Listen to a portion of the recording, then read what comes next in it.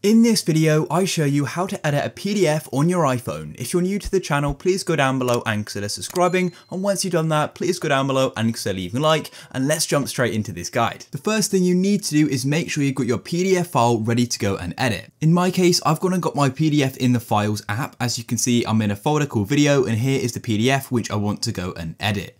Now, if you've got like a PDF in like an email or something, like in my case I've got here, then all you want to do is go and press on the share icon in the bottom left, and then scroll down on the share page, and then you can go and tap on save to files, and then it's going to be in your files app. Now to go and edit it, we are going to need an app, but it's completely free. So all you want to do is go and open up the App Store just like so, and go to search, and then go and search for Microsoft Office. You've probably heard of this before, but it's actually a really good app we can go and utilize. So keep watching, I'll show you exactly how to use it, and how to go and import the PDF file into it. So here it is here, Microsoft 365. And then all you need to do is press on the download button just like so. I've had it before, which is why I had that icon. So go and download it and I'll catch up with you once it's finished. Then once it's finished downloading, go and open it up just like so. And then all you need to do is sign up for a free account or sign into an existing Microsoft account. And then once you sign in, you'll be on this homepage and there are two different ways for how you can go and import the file.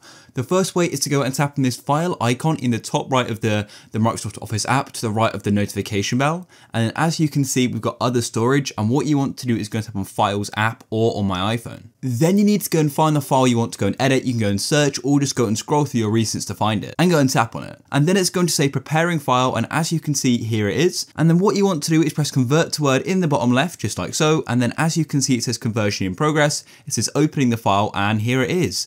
Then all you want to do to go and edit it is to go and press on that pen icon in the top, just like so. And I can now go and edit it and remove stuff as well. For example, um, hello again, just like that. And that's literally it, guys. And of course, you can use all the formatting tools as well. And then once you're finished with it and you want to go and save it, go and press on done, just like so in the top left. And you can make as many edits as you like. And to go and save it, there's two different options. So go to the top right and go and press on that share icon, just like so. And you can go and put it in your OneDrive. Or if you want to export it back to your phone again, go and tap on those three dots in the top right. And as you can see, we can then go and tap export, just like so.